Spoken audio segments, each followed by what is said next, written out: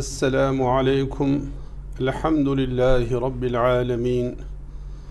Vessalatu vesselamu ala Resulina Muhammedin ve ala alihi ve sahbihi ecmain. Urfanatik TV'nin kıymetli gönül dostları. Cuma geceniz mübarek olsun. Rabbim gecemizi hayırlara vesile kılsın. Rabbim bu gece hürmetine şifa bekleyen bütün hastalarımıza Şafi ismiyle tecelli etsin, şifasını ihsan eylesin. Sıkıntısı olan kardeşlerimizin sıkıntısını gidersin. Bizleri, ailemizi, evlada, iyalimizi, dost ve akrabalarımızı, gönül coğrafyamızı maddi ve manevi belalardan, musibetlerden muhafaza eylesin.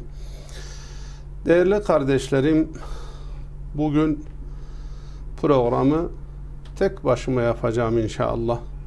Sebebi de malumunuz hava şartlarının e, müsait olmayışı idi. Bugün geceyi birlikte geçireceğiz. Değerli kardeşlerim, insan düşünen, akleden, iradesi olan, geçmişten etkilenen, gelecekten korku duyan, duygu ve kabiliyetleri olan bir varlıktır. Yani insan düşünür. İnsan geçmişten etkilenir. İnsan geleceğin korkularını yaşar. İnsan akleden bir varlıktır. İnsan çevresine baktığı zaman yerde ve gökte her şey bir nizama, bir intizama sahip. Hiçbir şeyde bir abeslik yok. Yerlere bakıyorsun, göklere bakıyorsun, ikisi arasına bakıyorsun. Her şeyin bir nizamı, her şeyin bir terazisi, her şeyin bir kanunu var. İşte insanoğlu çevresine bakarak kendine şunu sorabilir. Çevremde her şey bir kanuna tabi. Çevremdeki her şeyde bir mizan var, bir terazi var, bir abeslik yok. Her şey bir gaye ve hikmete hizmet etmekte. Ve bakıyoruz çevresinde hikmetli ve gayesi olan her şey aynı zamanda insana musahhar edilmiş insana hizmet etmekte. Tabi insan çevresindeki bu güzelliklerden sonra kendisine yapılan bu ikram ve hizmetlerden sonra kendine dönüp şöyle der. Her şeyin bir yaratılış, bir varoluş, gaye ve hikmeti varsa neden benim de bir varoluş, gaye ve hikmetim olmasın? Çünkü bana hizmet eden yerler, gökler, yerdekiler ve göktekiler, yer ve gök arasındaki bütün varlıklar eğer bir gaye ve bir hikmete binaen yaratılmışsa ve o hikmetli varlıklar bana hizmet ediyorsa öyleyse benim de bir gaye ve hikmetim var. Dostlar dedik ya insanoğlu düşünen bir varlıktır. İnsan oğlunun en büyük sorunu kendisini tanımasıdır. Çünkü insan kendisini tanımadığı zaman Rabbi ile olan ilişkilerinde kusur başlar.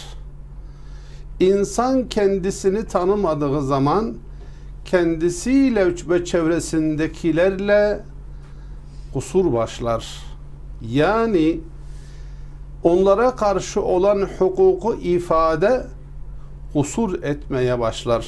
Onun için bizi yaratan, yaşatan, bize türlü türlü duygu ve kabiliyetleri veren Allah bizi başıboş bırakmamış. Bizzat içimizden seçtiği peygamberler vesilesiyle ve o peygamberlere indirmiş olduğu ilahi kitaplarla ne yapmıştır? Bizlere varlık gayemizi ve hikmetini haber vermiştir. Düşünün.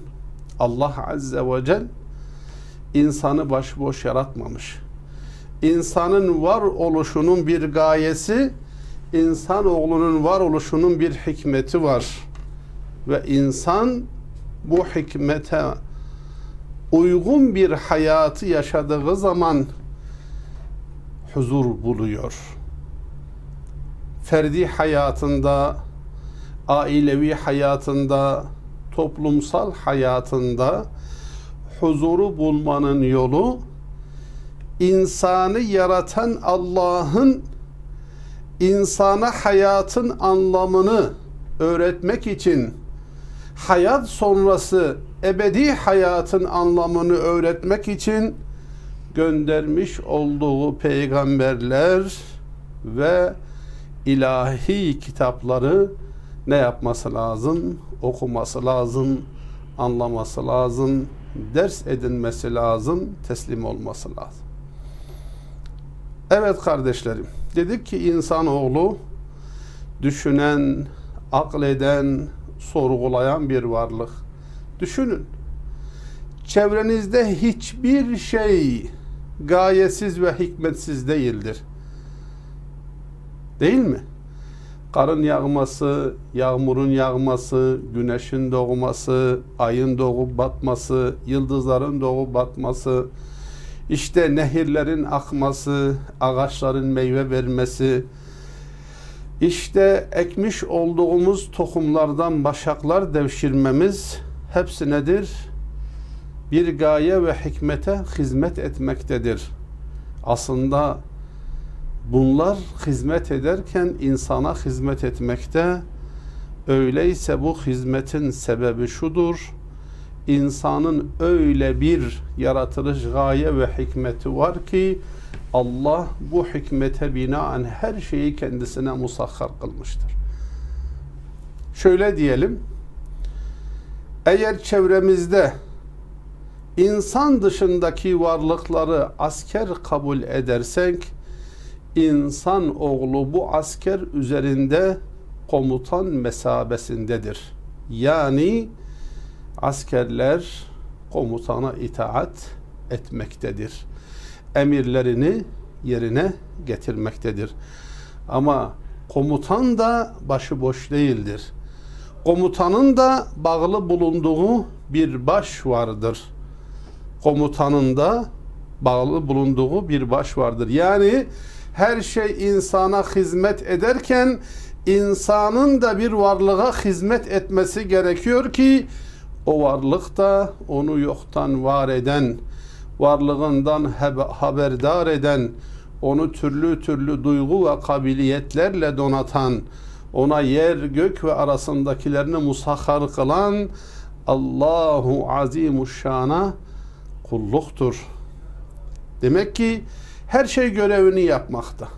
Yani çevremize baktığımız zaman bir hayvan insana hizmet etmekte etiyle hizmet etmekte, kılıyla hizmet etmekte, derisiyle hizmet etmekte, sütüyle hizmet etmekte, yağıyla, peyniriyle, kaymağıyla hizmet etmekte, sakatatıyla insana hizmet etmekte, yeri gelir kemiğiyle insana hizmet etmekte. E sebep demek ki insan öyle bir hikmet ve gaye için yaratılmış ki Allah çevresindeki her şeyi kendisine musahhar kılmıştır. Demek ki ey düşünen ve akleden insan çevrene bak ve düşün. Eğer gökteki güneşten, yıldızdan, aya kadar, yağmurdan, doludan, kara kadar, meleklerden hayvanlar, ve nebatat ile ahşaba kadar her şey sana musakhar kılınmış ve hizmetkar kılınmış da hizmet ediyorsa bilesin ki sana önemli bir görev, önemli bir sorumluluk yüklenmiştir. İşte bunu bizzat Allah Azze ve Celle Kur'an'da değişik ayetlerde bizlere haber vermektedir. Değerli kardeşlerim, ilahi kitabımız Kur'an'a baktığımız zaman ilk insan aynı zamanda ilk peygamberdir. Atamız Adem aleyhisselam insanlığın atası, ilk insan ve ilk peygamber ve bizzat kendisini ne yapmıştır? Allah talim etmiştir. Ona ilim öğretmiştir. İşte o ilmin adı vahidir. O ilim öğretmesi onun peygamber olduğunu göstermektedir. Adem aleyhisselamın yaratılışındaki ayetlere baktığımız zaman Allah azze ve celle meleklere ben yeryüzünde bir halife yaratacağım buyurur. Demek ki Adem aleyhisselamın yaratılışında Allah azze ve celle bize haber vermektedir. Ey Adem'in oğulları, ey Adem'in çocukları aleyhisselam sizler sizler yeryüzünün halifeleri olarak yaratıldınız. Biz insanlar yeryüzünde ilahi nizamı ikame etmek için ilahi nizamı muhafaza etmek için yaratıldık. Demek ki bizim görevimiz nedir? Yeryüzünde ilahi ahkamın hilafetidir. Yani biz yeryüzünü Allah'ın razı olduğu, Allah'ın emrettiği şekilde tanzim etmek, korumak ve muhafaza etmek üzere yaratıldık. Ey Adem aleyhisselamın çocukları Ey insan sen başıboş değilsin. Sen seni yaratan Allah'a, yaşatan Allah'a, sana hayat veren Allah'a, sana rızık veren Allah'a, seni yokluktan var eden Allah'a, varlığından haberdar eden Allah'a itaat, kulluk ve yeryüzünde hilafet görevini yapmak üzere gönderildin ve yaratıldın. Demek ki dostlar, görevimiz önemli. Bu hilafet görevi, yeryüzünün halifelik görevi insana verilmiştir. Çünkü insanda mevcut olan kabiliyet ve duygular başka bir varlıkta yok. Ne meleklerde, ne cinlerde, ne hayvanlarda, ne nebatat ve ahşapta insanda var olan duygu ve kabiliyetler yoktur. Mesela insanoğlundaki akıl, şuur, cüz'i irade, düşünme, bilme, öğrenme, terakkiyat yalnız insanda vardır. Onun için insanın Allah'ı sorgulama hakkı yok. Yaratan Allah, yaşatan Allah, insan oğlunu yeryüzünde hilafet göreviyle yaratıyor. Tabi bu hilafet görevindeki konu da belli. Allah Azze ve Celle Adem aleyhisselamı ve onun şahsı, onun şahsında evlatlarını yeryüzünün halifesi kılırken onları başıboş bırakmıyor. Onlara bir misyon yüklüyor. O misyonu eda ettikleri zaman Allah'a yaratılış gayesine uygun bir şekilde bir yaşam sürmüş oluyorlar. Yani başka bir ayeti kerimede önceki ayette Allah Azze ve Celle meleklere inni halikun beşeran değil mi? وَاِذْ قَالَ رَبُّكَ لِلْمَلَائِكَةِ اِنِّي جَاعِلٌ فِي الْأَرْضِ خَلِيفَةً Bu birinci ayetimiz. Ben yeryüzünde bir halife yaratacağım buyurdu. Kur'an'ın değişik sure ve ayetlerinde başka ayetler önümüze çıkıyor. Mesela Zariyat suresinde Allah azze ve celle ve ma halaktul cinne vel insa illa liya'budun ben insanları ve cinleri ancak bana kulluk etsinler diye yarattım. Demek ki yeryüzünün halifesi olarak yaratılan insan yaratılan insanın hilafette yapması gereken görevi Allah'a kulluktur. Yani Allah'ın kendisine indirmiş olduğu vahye göre kayıtsız ve şartsız ne yapmaktır? Teslimiyet gösterip gereğini yapmaktır. Biz bunun için yaratıldık. Kulluğu Allah'a sunmak üzere. Ve biz bu kulluğu Allah'a sunarken aynı zamanda yeryüzünde halifelik görevimizi de yapmış olmaktayız. Çünkü Allah Azze ve Celle bu hilafeti ifa etmek için bizlere kabiliyetler ve duygular verdi. Emrimize yerleri ve gökleri yer ile gökler arasındaki bütün varlığı musahhar kıldı.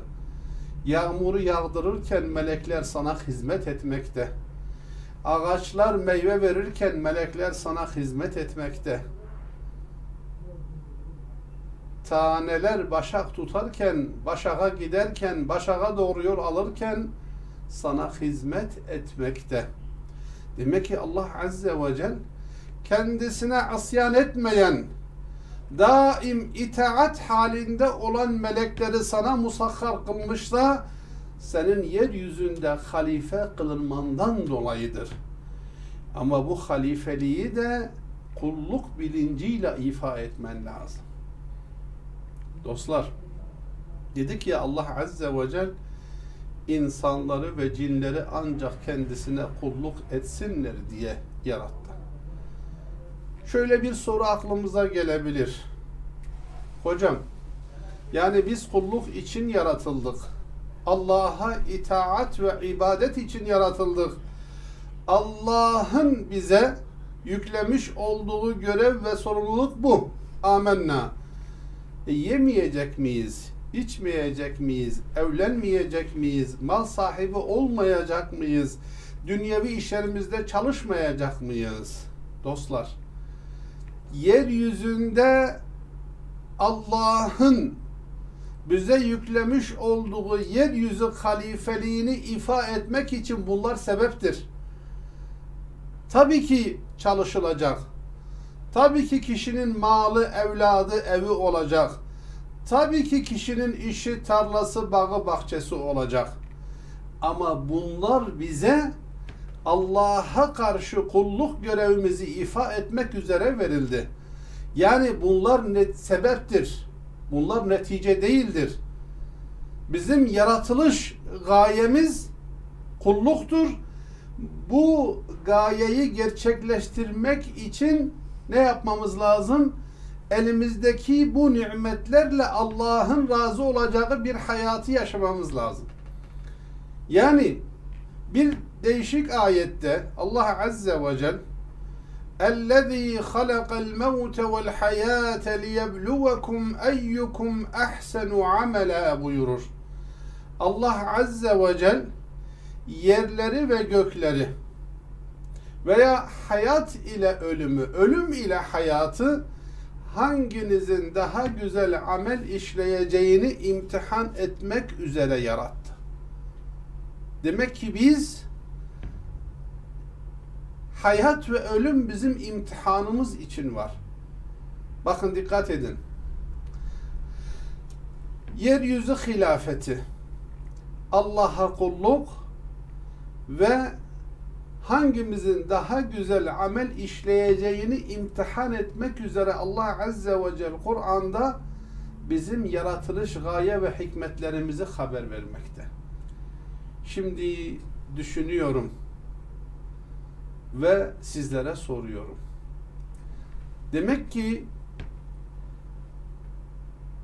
en güzel ameli Allah'a sunabilmek için Allah'ın bizi en güzel amelden haberdar etmesi lazım. Öyle değil mi? Ve bunu bizi haberdar eder, ederken de ne yapmış Allah Azze ve Celle? ilahi bir metni vahyi göndermiş. İçimizden seçtiği peygamberlere vahyetmiş ve o peygamberler hangi işimizin güzel, hangi işimizin de güzel olmadığını haber vermiştir. Düşünün. Yeryüzünde imtihan ediliyoruz. Kulluk imtihanından geçiyoruz kulluk imtihanını kazanmak için hayatımızda yapmamız gereken şey güzel fiillerde, güzel amellerde, güzel niyetlerde ve güzel tercihlerde bulunmamız gerekiyor. Demek ki biz Allah'ı razı etmek için Allah'ın razı olacağı amelleri işlememiz lazım. Allah'ın razı olacağı amelleri işleyebilmemiz için de Allah'ın razı olacağı amelleri bilmemiz, tanımamız lazım. İşte Allah'ın razı olacağı amelleri, fiilleri, tavırları, düşünceleri bilmemiz için de bizzat Allah'ın bize bunları haber vermesi lazım. İşte dostlar bir insan, bir mümin, bir Müslüman ne yapar? Allah'ın kendisine indirmiş olduğu, yol gösterici olarak indirmiş olduğu Kur'an'dan ve Kur'an'ın kendisine indirip insanlara tercüme eden, tebliğ eden, yaşayan ve örnek olan peygamberden bağını koparmamalı. Dedik ya Allah Azze ve Celle yeryüzünde bize bir görev vermiş, hilafet görevi ve hilafet görevinde asli vazifemiz ona kulluktur. Ve bu kulluğu da en güzel amelleri işleyerek göstermemiz lazım. İşte bu en güzel amelleri işleyebilmemiz için onun bize haber vermiş olduğu amellerle iştigal etmemiz lazım. Allah hangi düşünceden razı? Allah hangi inançtan razı? Allah hangi konuşmadan razı? Allah hangi görmeden razı? Allah hangi duyuştan razı? Allah hangi yürüyüşten ve tutuştan razı? Allah hangi sevgiden ve uğuzdan razı? Allah hangi fiil, amel ve tavırlardan razı ise ne yapmamız lazım? Bunları bilmemiz lazım ki Allah Azze ve Celle bizleri ne yapsın? Bizleri mükafatlandırsın rızasıyla, hidayetiyle bir de ahiretteki cennet ve cemaliyle. İşte dostlar bugün çoğumuzun sıkıntı yaşadığı konu burası. Düşünmüyoruz. Kendi yaratılışımız üzerine düşünmüyoruz, tefekkür etmiyoruz. Ben nereden geldim? Niçin geldim? Dünyaya geliş sebebim ne? Dünyada varoluş gaye ve hikmetim ne? Ben niçin gönderildim bu dünyaya? Yerlerin ve göklerin bana hizmet etme sebebi ne? Değil mi? Ağaçlar meyvesiyle, toprak madeni, ahşab ve nebatatıyla, yerler, nehirler, denizler, kuyularıyla, sema yıldızıyla, ayıyla, güneşiyle, yere gelir melekleriyle bana niye hizmet eder diye düşünmemiz lazım. İşte düşündüğümüz zaman karşımıza şu çıkıyor. Her şey bir gaye için yaratılmış ve o gayesine ne yapmakta? Gayesine doğru yol almakta gayesini gerçekleştirmekte. Yani tanenin gayesi başak olmaktır. Ve hakikaten ekilen tane başak olmakta. Ekilen çekirdek ağaç olmakta, meyve olmakta, o meyveden tekrar yeni yeni çekirdekler alıp yeni ağaçlar ekilmekte. Ama sonuçta meyvesinden istifade eden kişi varlık insandır. Demek ki çevremizde yani düşündüğümüz zaman faraza şöyle bir soru sorsak. Yani insan oğlu, insan oğlu tutup da bir affınıza sığınıyorum. Bir ineğe sorsa dese ki ya ey inek senin yaratılış gayen ne? Ya inek dese ki ey insanoğlu benim yaratılış gayem et vermek, süt vermek, ondan sonra derimden kemer yapmak, ayakkabı yapmak, elbise yapmak, sakatatımdan işte ciğerimden istifade etmek derken birçok gayesini, birçok hikmeti bize ne yapar? Serdeder, anlatır, açıklar. İnek dönüp de bize dese ki ey insanoğlu senin için yaratıldın. Senin yaratılış sebep ve gayen ne? Eğer biz desek ki ey inek bizim yaratılış gayemiz bizi yaratan, yaşatan, bize yerleri ve gökleri musahhar kılan, bize kalp, ruh, beden ile ikramda bulunan, bize eş, aile, evlat, akraba veren Allah'ı razı etmektir. Nasıl ki sizin göreviniz, ifa etmeniz gereken misyonunuz et vermektir, süt vermektir, derinizden istifade edip ayakkabı, kemer, işte deri mont yapmaktır. Benim etimden, sütümden değil, benim amellerimden Allah'ı razı etmem gereken bir misyon bana yüklenmiştir. Onun için biz burada bizi dinleyen kardeşlerimizden şunu istiyoruz. Ey insan kendini ne yap? Kendini sorgula. Niçin yaratıldı? Seni yaratan Allah senden ne istemekte? Varoluş gaye ve hikmetin ney? Sen bu dünyaya başıboş dolaşmak için gönderilmedin. Senin asıl gayen mal biriktirmek değildir. Evlat çoğaltmak değildir. Ondan sonra gayrimenkulleri çoğaltmak değildir. Maddi işleri biriktirmek değildir. Çünkü eğer böyle bir gayen olsaydı bu biriktirdiğin şeyler seninle ölüm sonrası hayatında birlikte gelmesi gerekirdi. Yani seninle kabre girmesi gerekirdi. Kabir sonrasına kendinle götürmen gerekirdi. Demek ki eğer kabir kapısına kadar bize verilen mal, mülk, evlat demek ki bizim asli vazifemiz değildir. Arkamızda bıraktığımız bizimle gelmeyenler bizim değildir, bizim malımız değildir. Öyleyse bizim öyle bir gaye ve hikmetimiz var ki yolculuk esnasında, ebedi yolculuğumuzda kendimizle götürdüklerimizdir. İşte onun için dostlar, kulluk öyle bir hazinedir ki insanı hem dünyada, insanı hem kabirde, insanı hem de ebedi hayatında huzura kavuşturur. Düşünün. Öyle bir hazine.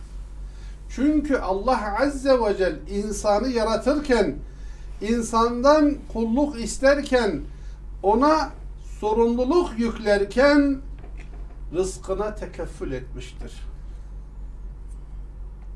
Yani ey kulluğum için yaratılan, ey bana itaat etmek üzere yaratılan, ey kendisine hayat verdiğim, rızık verdiğim, hayat bahşettiğim kullarım, o konu sizin işiniz değil. Rızkı vermek benim işim.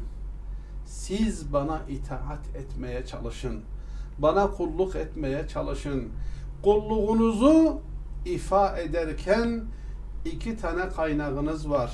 Biri içinizden seçtiğim peygamberlere gönderdiğim ilahi kitaplar. İkincisi de o kitapların mütercimi, mübelliği, ondan sonra mümessili olan peygamberlerdir. Yani sizin göreviniz kulluk ama bu kulluğu aklınıza göre ifa edemezsiniz. Nefsinize göre ifa edemezsiniz. Ya neye göre ifa edeceğiz? Allah'ın razı olduğu şekilde. Bakın rıza Allah'ın yaratan Allah. Öyleyse yaratan Allah'ı razı etmek için Allah'ın razı olduğu şekilde yapmamız gerekir. Bakın Kur'an bize hangi konuda kulluk yapmamızı öğretir? Sünnet, peygamberin hayatı da bu kulluğu nasıl yapmamızı bize öğretir. Kur'an neyi? Sünnet nasıllığı bize öğretir. Onun için bakın başta söyledik. Adem aleyhisselam yaratılırken Allah azze ve cel ve iz qala rabbuka lil melaiketi inni ca'ilun fil ardı halife. Ben yeryüzünde bir halife yaratacağım.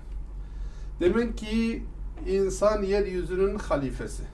Bakın Allah yeryüzünde bir nizam ve intizam yaratmıştır. İşte kulluğu ifa ederken bu nizam ve intizamı muhafaza etmemiz lazım.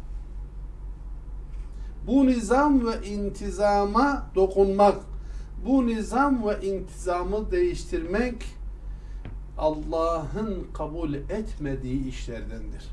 Allah Azze ve Celle Rahman suresinde şöyle buyurur.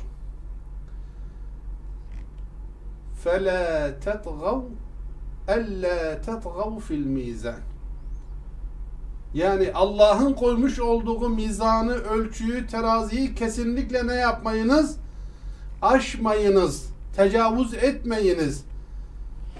Yani Allah Azze ve Celle size bir konuda bir ölçü koymuşsa o ölçünün dışına çıkmayınız.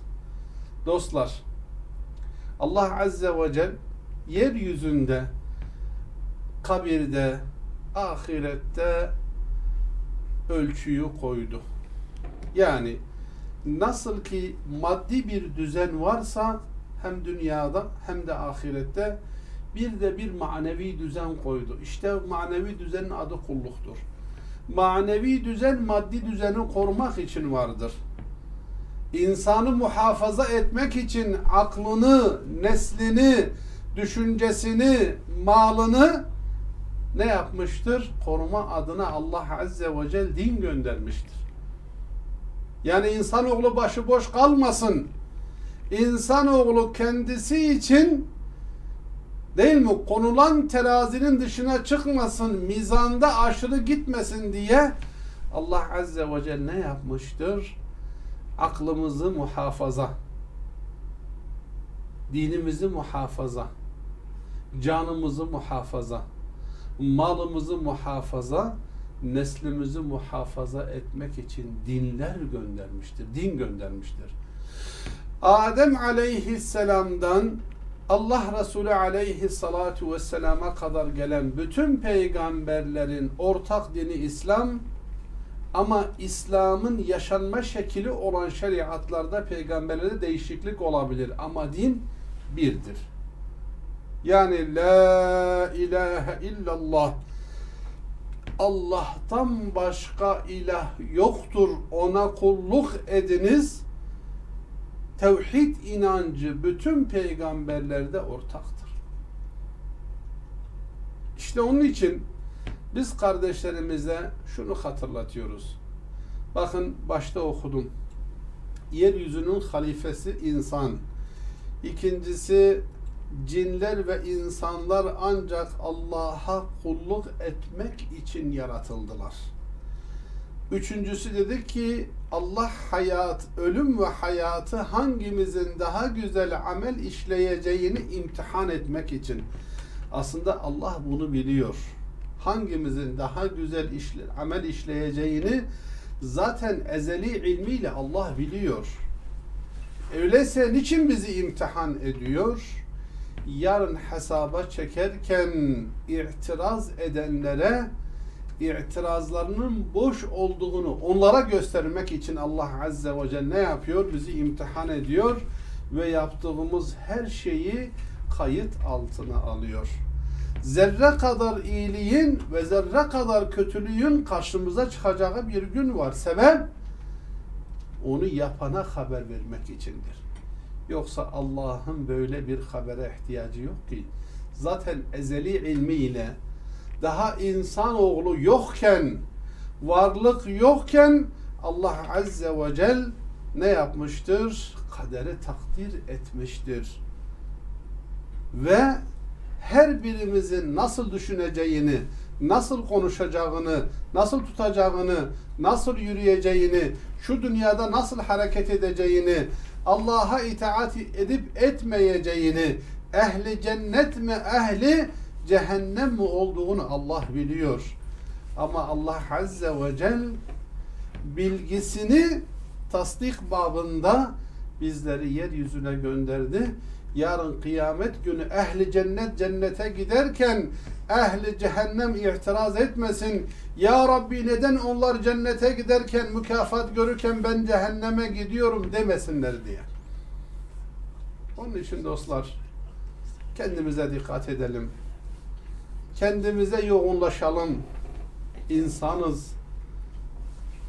Asli görevimiz önemli ve büyük. Ama bazen dedik ya varlık alemi asker insan oğlu ise komutan. Ama eğer bu komutan kendi görev ve sorumluluğu konusunda bir kusur işlerse değil mi? Görevine ihanet ederse bunu da en sert şekilde ne yapıyor? Allah onu cezalandırıyor. Bazen cezayı dünyada bazen büyük mahkemeye bırakıyor. Öyle değil mi? Peygamberler gelmiş aleyhimusselam. Peygamberler geldikten sonra tebliğlerini yapmış. Bir kısım kavimler peygambere muhalefetten, ilahi vahye muhalefetten, Allah'a kulluk etmek istemeyişlerinden, Allah'a ortak koşmalarından, Allah'a isyan etmelerinden dolayı dünyada helak olmuşlardır. Değil mi? Urfalılar bunu çok iyi bilir.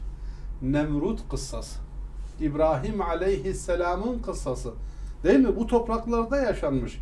İbrahim aleyhisselam tevhidin öncüsü bir peygamber. Allah'tan başkasına kulluk edilmeyeceğini insanlara tebliğ etmiştir. Ama ne zaman ki Nemrut gibi asiler muhalefet etmişler, baş kaldırmışlar, sahte ilahlık ve rububiyet iddiasında bulunmuşlar, gelen vahye muhalefet etmişler, peygambere savaş açmışlar, Allah Azze ve Celle onları ne yapmıştır? Dünyada helak etmiştir. Değil mi? Bazen bunu toplumda ne yaparız? Duyarız. İşte Nemrut topal bir sivrisinege ne yapıldı? Kurban edildi. Yani onunla helak edildi. İşte Musa aleyhisselamın karşısındaki Firavun Nil nehriyle değil mi cezalandırıldı. Yani yaklaşık bir küsür milyon askeriyle ne yaptı?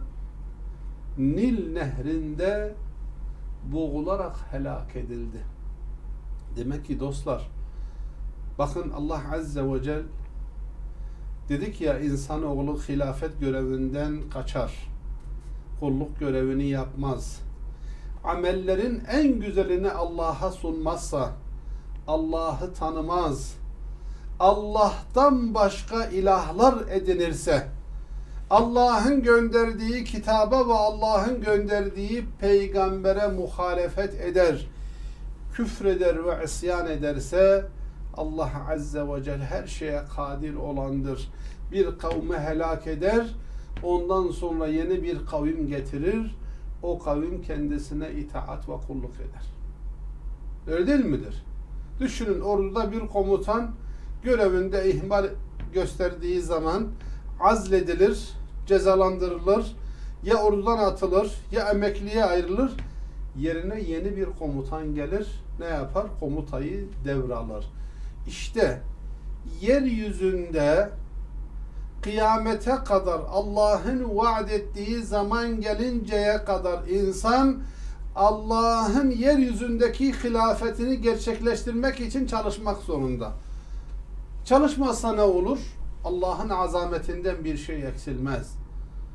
Ama insan neticesine katlanmak zorunda kalır. Düşünün.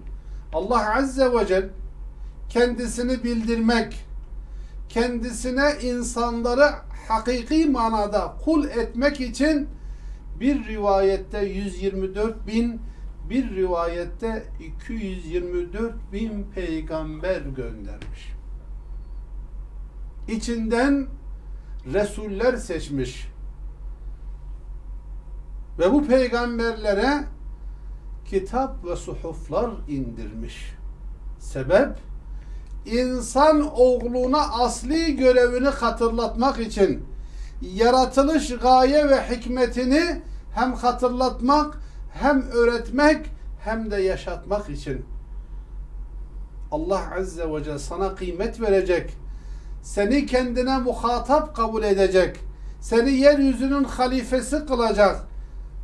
Senin cinsinden içinden seçtiği yüz binlerce peygamber gönderecek ve o peygamberler aracılığıyla sana bizzat vahiyler gönderecek, ilahi ayetler gönderecek ve sen bu kadar hizmete, bu kadar ikrama, bu kadar davete rağmen baş kaldıracaksın.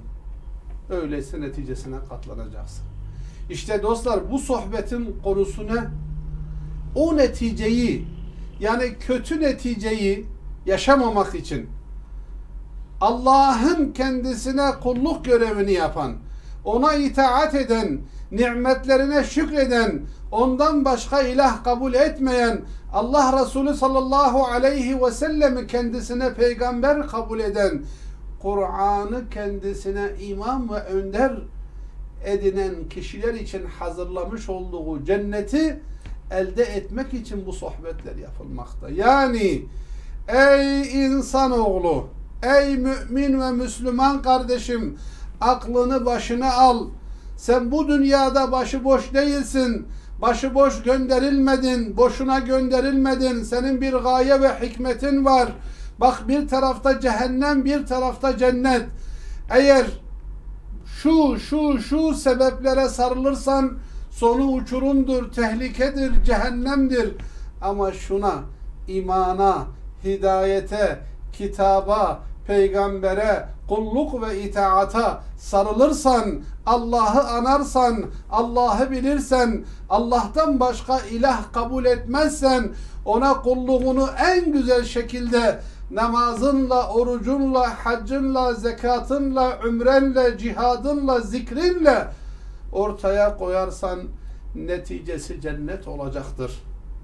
İşte bugün öncesi ve sonrası yapılan bütün nasihat ve sohbetlerin ortak noktası budur. Yani insanoğlunun kendisini tanıması. Derler ya Nasrattin Hoca'ya sormuşlar. Hocam İslam'ın şartı kaç? Hocam demiş ki İslam'ın şartı altı. Ya demişler hocam biz beş biliyorduk. Bütün hocalar beş beş beş anlattı. Beş öğretti. Sende niye altı? Demiş ki altıncısı haddini bilmektir. İşte bu sohbetlerin konusu, manası, gayesi haddimizi bilmek içindir. Yani biz başıboş değiliz. Konuştuğumuz şeyler, gördüğümüz şeyler, baktığımız şeyler, duyduğumuz şeyler, tuttuğumuz şeyler, yürüdüğümüz şeyler, günlük hayatta yaptığımız fiiller, ameller nedir? Hepsi yarın önümüze çıkacak. Onun için dostlar biz ne yapıyoruz? Biz ne yapıyoruz? Yaptığımız şey şudur. Yani her şey kayıt altına alınıyorsa ve insan gibi bir hazine bu kadar uyarıya, bu kadar nasihata rağmen hesapsız yaşıyorsa, kendisi için kurulan teraziyi hesaba katmıyorsa, kendisi için musahhar kılınan yerlerden ve göklerden ibret almıyorsa, başta vicdanı kendisini huzursuz edecek. Ferdi olarak huzursuz olacak. Ailevi olarak huzursuz olacak. Mahallesinde, sokağında, bağında, bahçesinde huzursuz olacak. Çünkü Allah'a sunulan kulluk ve itaatta başta ferdin hayatında ne yapmakta? Bir değişiklik yapmakta. Onu mutlu etmekte. Ona huzur vermekte. Şimdi bakın birçok insan var zengin olmasına rağmen huzura hasret. Birçok insan var sıhhatli, yakışıklı, koşabiliyor, yürüyebiliyor, tutabiliyor ama inanın eğer dediğimiz o manevi bağı, kulluk bağını, hilafet bağını değil mi? Allah'a itaat bağını koparmışsa, Allah'la buluşamıyorsa ne manasında? İman konusunda, itaat konusunda, ibadet konusunda, onu tanıma konusunda eğer o bağı koparmışsa inanın o gençliği kendisine zehir oluyor. Değil mi? İntihar eden insanlara bak. Adamın malı var intihar ediyor. Tabi belki olmayanlar da intihar ediyor ama inanın yüzde doksan mal sahipleri intihar ediyor, yüzde on malı olmayanlar intihar ediyor. Ama ortak nokta Allah'la bağlar koparıldığı için intihar edilmektedir. Yani asli vazife, kulluk vazifesi terk edildiği için, yaratılış gayesi bilinmediği için, Allah'ın bizi yaratma sebebini bilmediğimiz için zengin de olsak, fakir de olsak, yakışıklı da olsak, hasta da olsak intihar edebiliyoruz. Çünkü inançsızlığın ilk vurduğu yer ferdin kendi kalbi ve hayatıdır. Ondan sonra bu ailesine yansımaktadır. Ondan sonra sokağına yansımaktadır. Caddesine yansımaktadır. Değil mi? İnançlı insan konuşmasına dikkat edendir. İnançlı insan bakışına dikkat edendir. İnançlı insan duyuşuna dikkat edendir. İnançlı insan tutuşuna dikkat edendir. İnançlı insan yürüyüşüne dikkat edendir. İnançlı insan çevresinden etkilenendir. Merhamet sahibidir, şefkat sahibidir, yardımlaşma ve inayet ehlidir. Kendisi tok iken komşusunu aç yatırmaz. Eğer bugün huzurumuz yoksa, bir kısım insanlar sokakta, soğukta değil mi aç ve susuz kalabiliyorsa ve yanı başımızdaki insanımız kirasını ödeyemediği halde, karnını doyuramadığı halde, içini ve evini ısıtamadığı halde uyuyabiliyorsa demek ki dostlar yeryüzünde hilafet görevini hakkıyla yapamıyoruz demektir. Dedim ya başta sohbetin başında eğer insan kendisini tanıma konusunda, Allah'ı tanıma konusunda, çevresini tanıma konusunda bu tanımada bir eksiklik yaşarsa bu direktmen davranışlarına yansıyor. Davranışlarına yansıyor. Son bir örnek verip inşallah sohbetime son vereceğim. Bir hoca varmış. Bir de talebeleri. Hoca talebeler içerisinde birine çok büyük teveccüh gösterilmiş. Ama diğer talebeler üzülürmüş. Yani neden? Hepimiz hocamızın talebesiyiz. Hepimiz hocaya ders almaya geliyoruz. Neden hocamız aynı teveccühü bize göstermiyor? Tabi hoca efendi ne yapmıştır? Bunu hissetmiştir.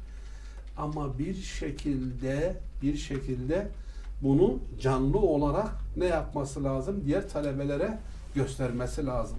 Ki farkı görsünler. Sebebi bilsinler. Der ki talebelerine, çocuklar içinizden hanginizi daha fazla sevdiğimi bilmek istiyorsanız herkes eline bir güvercin alsın. Kimsenin görmediği bir yerde hemen kesip gelsin. İlk gelen kişiyi demek ki ben hepsinden çok seviyorum demektir. Tabi bütün talebeler gidiyor. Hocanın teveccüh gösterdiği de gidiyor.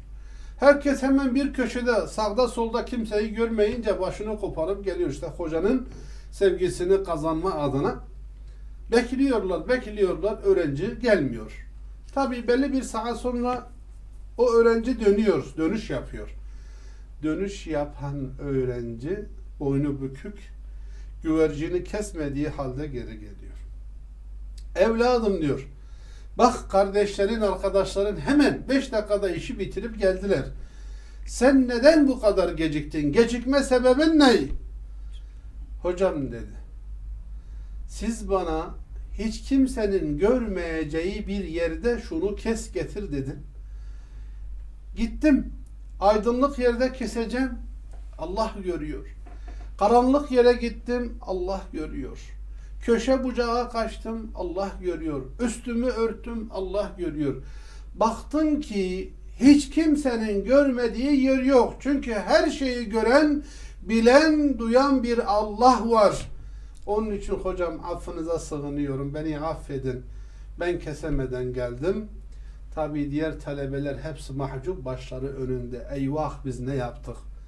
Eyvah biz ne yaptık? Hocamız bizi bir imtihana tabi tuttu.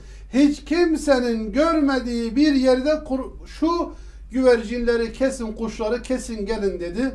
Ama biz bunu hiç akletmedik.